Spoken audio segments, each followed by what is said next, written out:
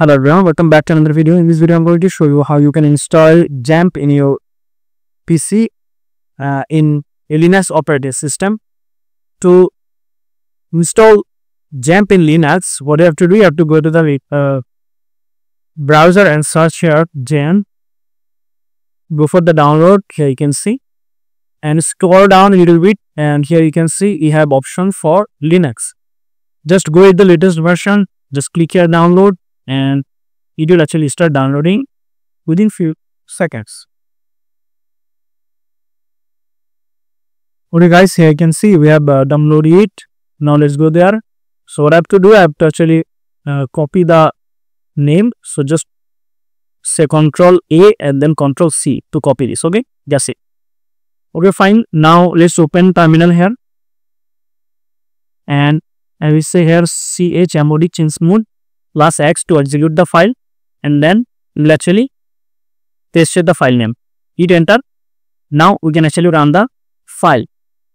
Now here in the terminal we have to say that sudo okay then dot then slash then the file name we have to actually paste here. Press enter. Now you have to give the password. So just give the password and here you can see welcome to XAMPP. So it's working. Now we are on the way to install it. Okay. Just click here forward and keep as it is. Now just click here forward, click forward, forward. And here you can see it's installing. Here you can see we have the um, completely installed it. Now just click here finish and here you can see uh, now uh, here you can see that we come to uh, XAMPP 8.2 right so we had the current version and latest version. Now click here manage server. Here you can see our apache server is running. You want to actually stop all of them. And here you can see stopping and stop right and now if we click here start out then it will actually start. And if we want to actually start them individually you can actually click uh, check it and then click here start. Okay now let's say we want to create a project inside uh, htdocs. So what I have to do, I have to actually go to the uh, file system, then uh, OPT, okay, this OPT, then LAMP, and here we had htdocs, here you can see. And inside it, you can actually uh, create project. Now I want to delete all of them, okay.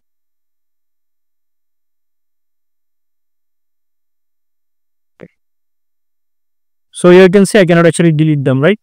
And if I want to create a uh, folder also, uh, here you can see there is no option.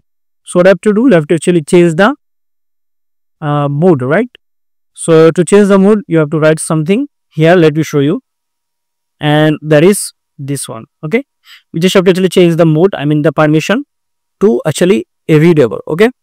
I mean read, write and execute. So triple seven. So what I have to do, you have to actually uh, open the terminal here and here you have to say sudo I mean super user do. There here you have to say what? Uh, here you can see change mode right? Okay. So chmod change mode then hyphen r means read then triple seven then uh, we are in where? Uh, inside here you see opt opt then lab and then htdocs so we just have to mention the path. Here you can see. Okay. Then what to say here slash opt slash lamp. So in the in the windows we have XAMPP right? Yeah. Then you have st docs. Hit enter. You just have to give the password. That's it. Done. Now we can actually delete them. Let me show you. If i say delete here I can say delete. Now i can actually create new project also. I will say test php now i can actually open this if i run the server. So how you can actually run the server if I remove it, let's I remove it, I, I quit it, then how can I actually run the server? So as you can see currently I'm in htdocs, I have to actually go back to the previous directory. Now I'm in lamp. So maybe you can actually go like this, okay? Then here if I say ls, here we'll find manager linux run, okay? So we just have to actually copy this. Then here you have to say sudo, then just give a dot and then slash and then file name. Just hit enter and here you can see it opens. Now go to the manage server.